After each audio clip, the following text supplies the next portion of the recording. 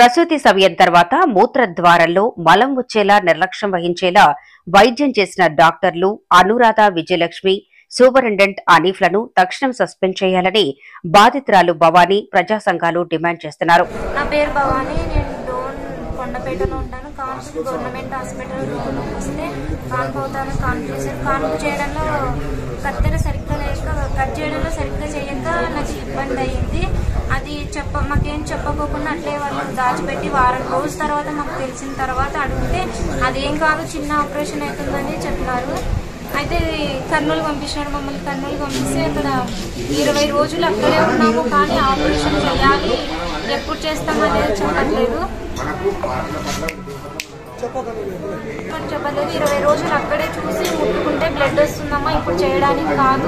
చేసిన కూడా ఫెయిల్ అవుతుంది. ప్లాస్టిక్ సర్జరీ చేయాలో మీకు ఇప్పుడే కాదు అది చేయడము. ఆరు నెలలన్నా సంవత్సరం అన్నా ఆగాల్సిందే. ఈ ఇబ్బంది ఇట్లనే ఉంటుందని చెప్పినారు. అయితే పదహైదు రోజులకు ఒకసారి అక్కడ వెళ్ళి వస్తూనే ఉండాలి మీరు. చెప్పకంటే అక్కడికే తిరుగుతున్నాము. అంటే ఇక్కడ మాకు ఏదైనా న్యాయం చేయండి ఎక్కడైనా చూపించండి అని డాక్టర్ల దగ్గరకు వచ్చి అడిగితే వాళ్ళు చాలా నిర్లక్ష్యంగా మాట్లాడుతూ మమ్మల్ని ఏదోలా అన్నారు. ఎక్కడ వేసుకో ఎక్కడ చెప్పుకుంటారో చెప్పుకోపోండి ఎంక్వైరీ కమిటీకి వేసుకోపోండి అంటే నేను ఇంకా నంద్యాల జిల్లా డోన్ పట్నంలోని కొండపేటకు చెందిన భవానీ అనే మహిళ తెలిపిన వివరాల ప్రకారం డోన్ ప్రభుత్వ ఆసుపత్రిలో కాన్పు కోసం వెళ్ళిన భవానీకి మొదట వైద్యురాలు విజయలక్ష్మి సాధారణ ప్రసవం అవుతుందని చెప్పగా అనురాధ అను వైద్యురాలు కాన్పు చేసిందని కానీ ఆమె కుట్లు వేసే సమయంలో సరిగ్గా వేయకపోవటంతో పది రోజుల తర్వాత మూత్రద్వారంలో మలం వచ్చేలా జరిగిందని గాయం తీవ్రత ఎక్కువ కావటంతో కర్నూలు ప్రభుత్వ ఆసుపత్రికి వెళ్ళాలంటూ తనకు తెలిపారని దీంతో ప్రసూతి మహిళ కర్నూలు ప్రభుత్వ ఆసుపత్రికి వెళ్ళగా అక్కడ డాక్టర్లు కొన్ని రోజుల పాటు చికిత్స చేశారని అనంతరం ఈ విషయమై ప్రజా సంఘాలతో కలిసి బాధితురాలు భవాని కర్నూలు కలెక్టరేట్ స్పందనలో ఈ విషయాన్ని తెలపగా కలెక్టర్ స్పందించి మెరుగైన వైద్యం కోసం నంజాలలోని ఆసుపత్రికి రిఫరల్ చేశారని అక్కడ కోలుకున్న అనంతరం భవానికి జరిగిన అన్యాయం గురించి కలెక్టర్ ఈ రోజు ఇక్కడకు ఎంక్వైరీ మీద అధికారులను పంపించారు.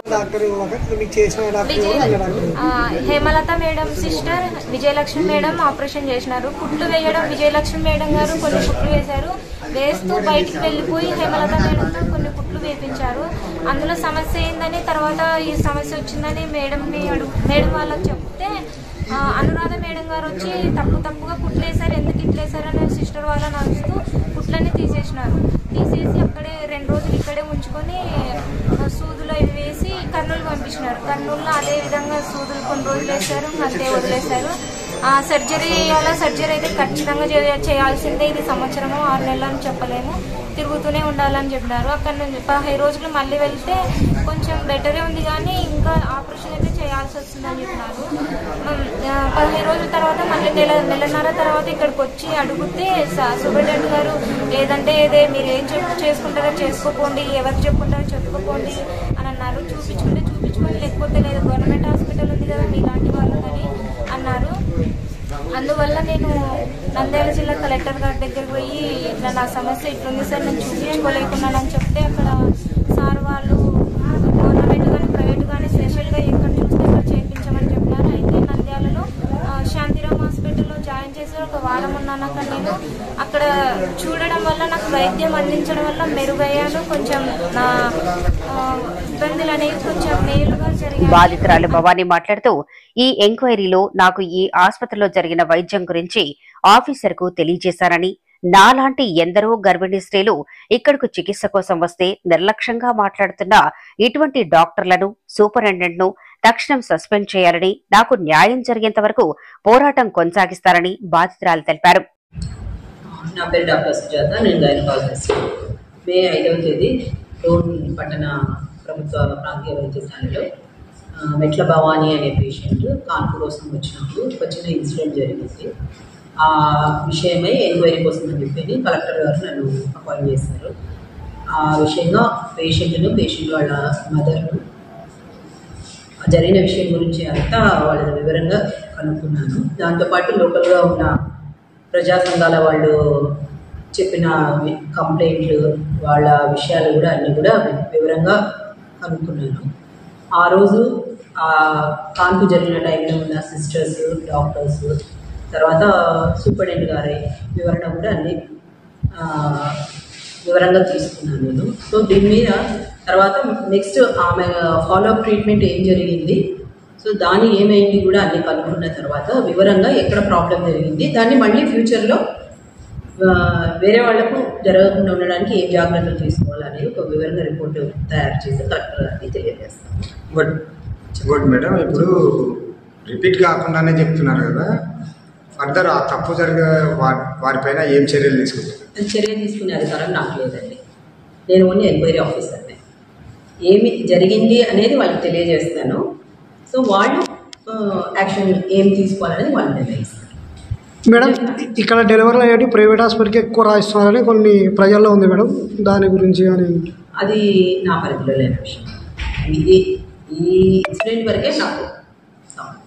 ఇప్పుడు ప్రజా సంఘాలు ఏమంటున్నారంటే మేడం ఇప్పుడు ఈ ఎంక్వైరీ కూడా కరెక్ట్గా జరగదు. సూపరింటెండెంట్ గారు వాళ్ళందరినీ మేనేజ్ చేసే అవకాశం కూడా ఉంది అని చెప్పి ప్రజా సంఘాలు కూడా చెప్పడం జరిగింది.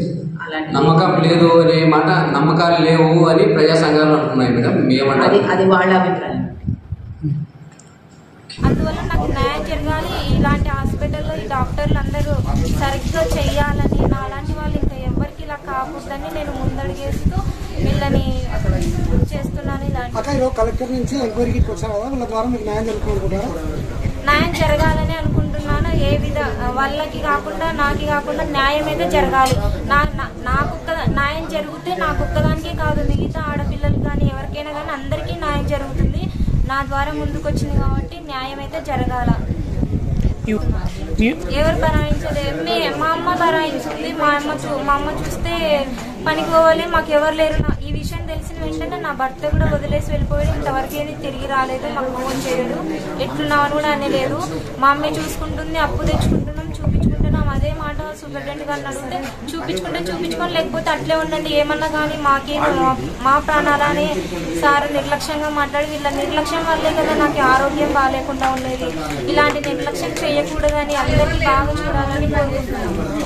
ఈ కార్యక్రమంలో CPI party Dhone in charge Sunkayya CPI party working president Shamim పట్టణ అధ్యక్షులు నారాయణ మహిళా సంఘం నాయకులు అమృతారెడ్డి మాధవి తదితరులు పాల్గొన్నారు. నేను నంద్యాల జిల్లా వర్కింగ్ ప్రెసిడెంట్.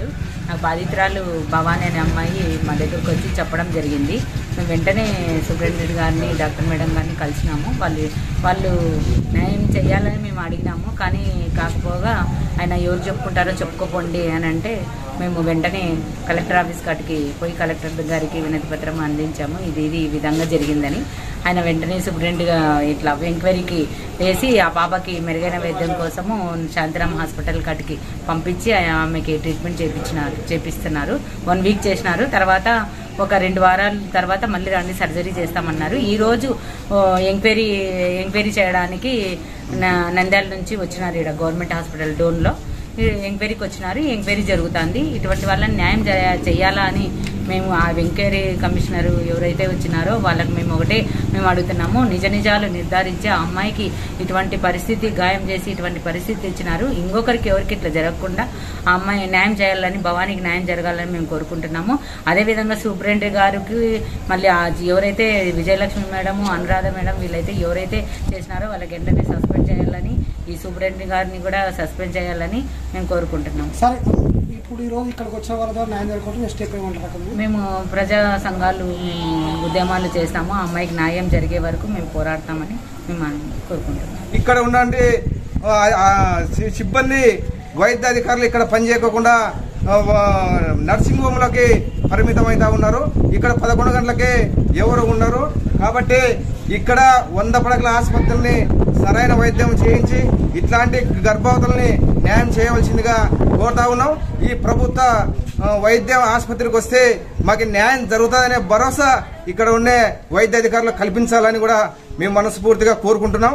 ఇట్లాంటి వంద పడకల ఆసుపత్రి కోట్ల రూపాయలు వెచ్చించిన ఇప్పుడు ఎవరు ఇబ్బంది ఉంది మాకు ఆసుపత్రికి పోతే ప్రాణాలతో మేము బయటకు వస్తామో లేదని భయపడతా ఉన్నారు. దాన్ని తీసేసి ప్రజలకి సరైన వద్ద వైద్యం అందించాలని కూడా మేము తెలియజేస్తున్నాం. ఈ సూపరింటెండెంట్ గారిని అడిగినాం. మాకు న్యాయం చేయండి అని అడిగితే మీ ఇష్టం వచ్చినట్లు చేసుకోమని పోతే మేము కలెక్టర్ దగ్గరికి స్పందనలో కలిసాం ఆ ఫిర్యాదులు తీసుకునే వెంటనే కలెక్టర్ దిగివచ్చి వెంటనే ఏం జరిగిందమ్మా నీకు న్యాయం చేస్తామని అక్కడ ఉన్న హాస్పిటల్కి ఆడ డాక్టర్లను పిలిచి ఏమకు సరైన వైద్యం అందింది తర్వాత చూద్దామని ఆడ ఎంక్వైరీ కమిటీ వేస్తామమ్మా ఎంక్వైరీ కమిటీలో ఏం తేలుతుందో దాన్ని మీరు చేయించుకోండి అని చెప్పి ఈరోజు హెల్త్ హెల్త్ డిపార్ట్మెంట్ అధికారులు కూడా ఎంక్వైరీకి ఇక్కడే రావడం జరిగింది. ఆ ఎంక్వైరీలో కూడా ఆమె సరైన నిర్ణయం తీసుకొని ఆయన సూపరింటెండెంట్ డబ్బుల కకృతి పడి ఆశపడకుండా ప్రజలకు న్యాయం చేయవాలని ఇప్పుడు వచ్చిన మాకు పూర్తిగా నమ్మకం ఉంది మేడం దగ్గర. మాకు సరైన సమాచారం కలెక్టర్కి అందిస్తుందని ఈ ప్రజల్ని కాపాడుతుంది ప్రజల ఆరోగ్యాన్ని కాపాడుతుందని కూడా మేము మనస్ఫూర్తిగా కోరుకుంటూ